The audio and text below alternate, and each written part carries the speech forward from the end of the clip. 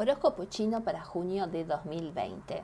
Si sos ratita, te cuento que según el horóscopo chino, en este mes de junio te vas a esforzar por corregir tu comportamiento de fatalista, ¿no? Siempre pensás un poquito las cosas al extremo y te vas a resignar que no podés cambiar la situación. Se te recomienda precaución, especialmente cuando se trata de administrar tu presupuesto y tus gastos. La rata se va a preocupar por la calidad de su comida y se va a mantener en forma para no perder su estado de alerta. Si sos búfalo, te cuento que en este mes de junio vas a ser consciente de la rigidez de tu carácter que te impide aceptar la novedad y lo inesperado deberías pensar seriamente en pedir ayuda externa que te, permita progresar en este punto. Debes evitar cualquier ambigüedad en las relaciones sociales. Un poco de simplicidad solo puede mejorar la vida diaria del búfalo.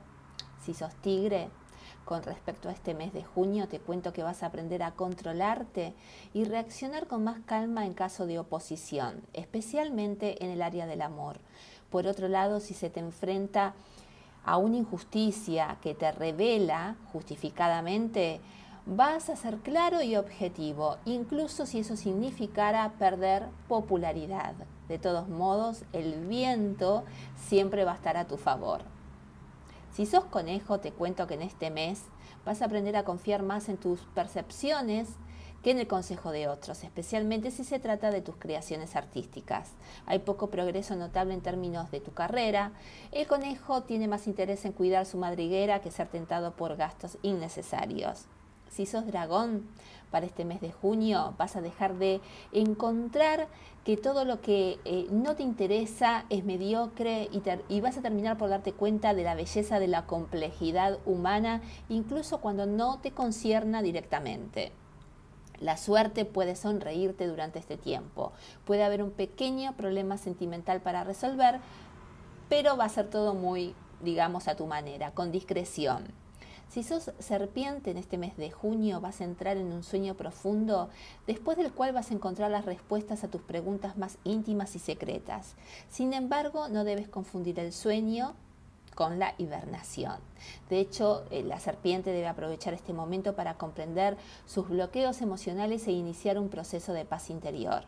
Si sos caballo, en este mes vas a sentir y vas a tomar la iniciativa de participar en acciones para obtener tu parte, lo que te corresponde. Vas a luchar por lo que te corresponde. No vas a querer sentirte manipulado por nadie. En todas las acciones que realices vas a tener que ejercer más esfuerzo de lo habitual y cualquier ayuda externa familiar será bienvenida. Y también debes tener precaución en todas las áreas. Si sos cabra, en este mes vas a sentir que es útil ser discreto. Pero eso no te va a impedir que sueñes abiertamente sobre tus futuras vacaciones en un país lejano vas a abstraerte un poco de esta realidad. Es un buen momento para volver a conectar con viejas y profundas amistades. Lento pero seguro, la cabra va a recuperar su credibilidad y popularidad con quienes la rodean.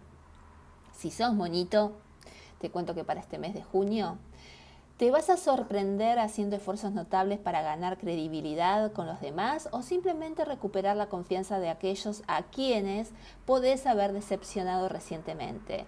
Sin embargo, tu sonrisa se va a mantener, como siempre. ¿Sí?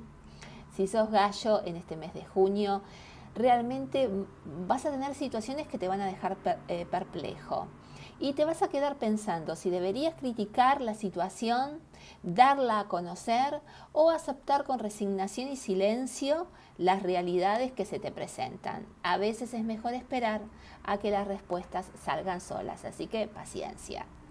Si sos perro, te cuento que vas a tener la seguridad de tu territorio, sin dudar en morder a todos aquellos que excedan los límites que vos decidiste poner sin embargo, vas a saber cómo estar abierto a los buenos consejos de las personas que aprecias.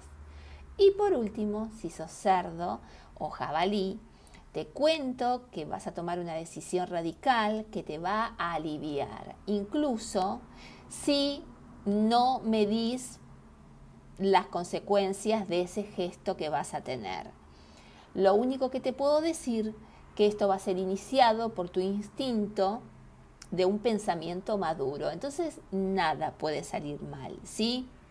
Las decisiones que tomes en este periodo van a estar basadas en tu madurez y en tu buen criterio.